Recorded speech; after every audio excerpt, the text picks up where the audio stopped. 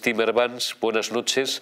No era la mejor forma de hacerlo, so pena de que se vea así, de que le hayan dado una encuesta que le digan, mira, tienes el 69 y el 70 asegurado. ¿Qué es eso? El 69 el que le da la mayoría absoluta. Pero no lo sé, esto es porque me lo parece a mí. ¿A ti qué te ha parecido?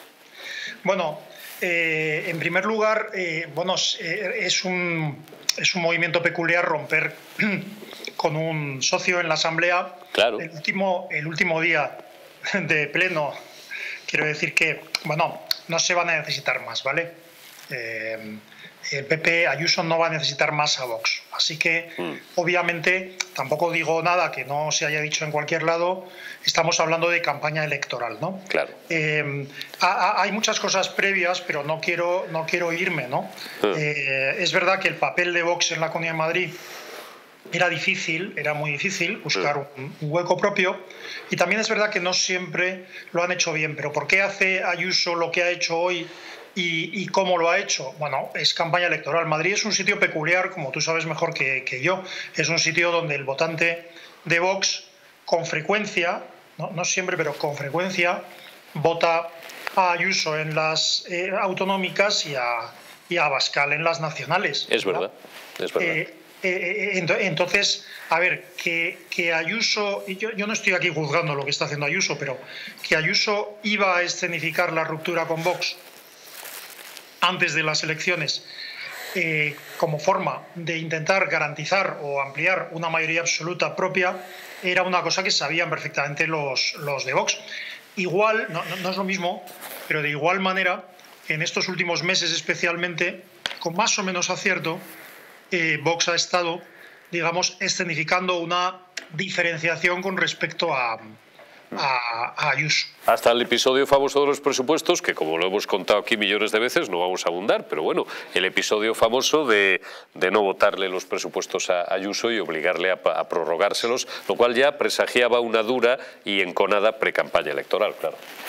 Sí, no, eh, no, siempre, no siempre ha estado en, en, ni en la gestión de esas votaciones, ni en la comunicación pública de las mismas, no siempre ha estado Vox precisamente muy acertado. Pero esto se acabó, es decir, se acabó, quiero decir que, que ahora ya es el sálvese quien pueda, pero repito, es decir, hoy mi querido amigo Jaime Berenguer se despedía del, Pleno, ¿no? Lo he visto, lo he visto en Twitter, sí. Hmm. Sí, sí. Sí, sí, sí. Y bueno, es decir, eh, eh, los grupos parlamentarios, ningún grupo parlamentario es completamente homogéneo y siempre hay quien hace las cosas mejor y peor. Y en este caso quiero decir con esto, es muy amigo, empieza por ahí, que Jaime Berenguer, Jaime de Berenguer es uno de los que hace las cosas muy bien y, con, y siempre con buena intención y con ningún afán precisamente conspiratorio. Bueno, pero dicho esto, quiero decir, no siempre lo ha hecho bien Vox. Y entonces yo, yo, yo creo que hoy Ayuso, a ver, eh, lo estoy juzgando desde un punto de vista solo de imagen. lo, ha hecho bien, no lo ha hecho mal, no lo, ha hecho mal, la forma no ha sido mala porque se ha erigido como en la, en la defensora de Vox. Yo que os he defendido a vosotros y vosotros no entendéis siquiera, no, no, no, no, no queréis siquiera distinguir entre inversión exterior y extranjera, de esto lo hacéis para fastidiarme y yo he sido muy buena y rompemos. Bueno, lo ha hecho bien, lo ha, hecho con habilidad.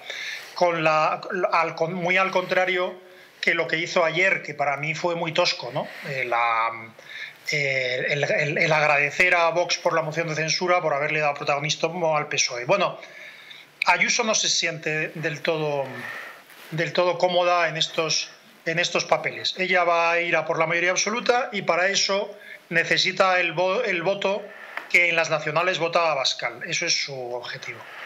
Está, está claro, pues así Timmermans, te agradezco muchísimo tu análisis ponderado y, elegante como siempre. Bueno, oye, ya que te tengo, perdona, abuso de ti un minuto más, hombre, y es que como llevamos muchos días sin hablar y aunque ya, hoy ya por fin quiero dejar descansar al respetable de la moción de censura, dame no es abuso No es abuso porque, es porque hay consentimiento. Eh, ah, bueno, pues sí, claro, porque para que sea abuso eh, te tienes que... Te tienes que bueno, no voy a decir, te, tienes que oponer, te tienes que resistir, efectivamente. Oye, dame dos impresiones, dos titulares, como decimos los periodistas, eh, que te haya dejado esta moción de censura. No te voy a preguntar ni quién crees que ha ganado, ni quién ha perdido. No, bueno, ¿qué, te ha abocado?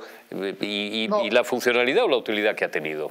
No, lo que pasa es que, ¿sabes, eh, Eurico? A mí, y lo sabes, lo digo de verdad, lo que me interesa es decir cosas que no se hayan dicho ya, ¿no? Ya, que, ya, ya. que aporten algo y esto en este momento no, es muy pues difícil. tú, ¿no? es muy difícil, No, pues se ha escrito Sí. todo. Tu opinión personal, no sé. Sí, sí, sí, sí, sí. O sea, yo, yo creo efectivamente que las expectativas eran malas, quiero decir, eh, y de hecho la gestión de, de la propia candidatura de Tamames había sido defectuosa eh, eh, y entonces las expectativas eran malas. Ahora, eh, yo creo de verdad, o sea, intento ser objetivo, ya, todos Sí. tenemos un sesgo, ¿verdad? Sí. Pero quizá, quizá es verdad que, que Sánchez y su banda se lo puso fácil a, a Tamames y a Bascal. Pero la realidad es que el, el papel que hizo Tamames eh, fue bueno. Es decir, Muy eh, bueno, bueno. cuando un, cuando un eh, anciano profesor eh, quiere, quiere dar lecciones, puede, puede ponerse a hablar media hora, a hablar una hora con tono soberbio. O, o hacer como hizo con Yolanda o con, o con Sánchez, que fue genial, ¿no? Es decir, Sí. le bastaron 20 segundos para desabordarles, especialmente a Yolanda, ¿no? Le, le- le aconsejo a usted que sintetice tus, sus propuestas y así podremos. Eh, quiero decir, Sí. eh, me, pareció, me pareció genial. Entonces, Sí. eh, la expectativa era, era mala y por lo tanto el resultado habrá quien le guste, a qui- quien no, pero desde luego fue muy por encima de lo esperado. Y Abascal estuvo muy bien. Yo, mm, de verdad, yo, yo tengo amigos en, en ambos partidos e incluso amigos que en ese momento estaban en, en el, en, el, en, las- en el, perdón, en el Congreso Sí.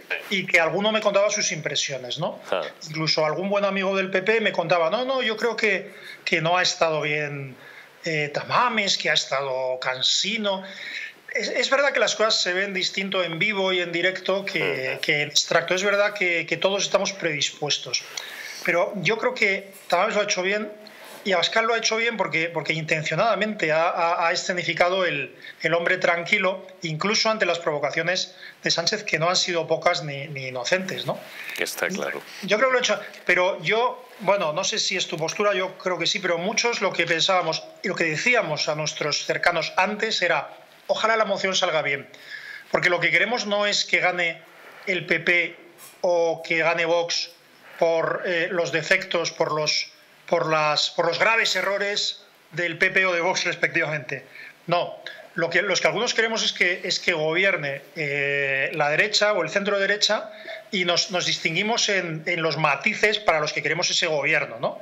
Eh, algunos queremos que determinadas políticas de género, de, eh, memoria histórica, económicas, eh, sean radicalmente eh, cambiadas, otros quieren que lo sean en una medida o en otra, pero todos queremos que, que- que tanto PP como Vox, es, es mi, es mi postura y lo digo con toda sinceridad, lo hagan bien para que sus ámbitos de, de votación aumenten. Entonces, en este sentido, yo quería, tenía deseos de que saliera bien la moción de censura y creo que ha salido bien. Ha Es- salido es- bien. es mi impresión. Ha salido bien y yo, yo suscribo, suscribo completamente de la cruz de la firma tu análisis. Asís Timmermans, muchísimas gracias. Cuídate y hasta la próxima. Te envío un abrazo. Un abrazo de vuelta, Eurico, y muchísimas gracias a todos.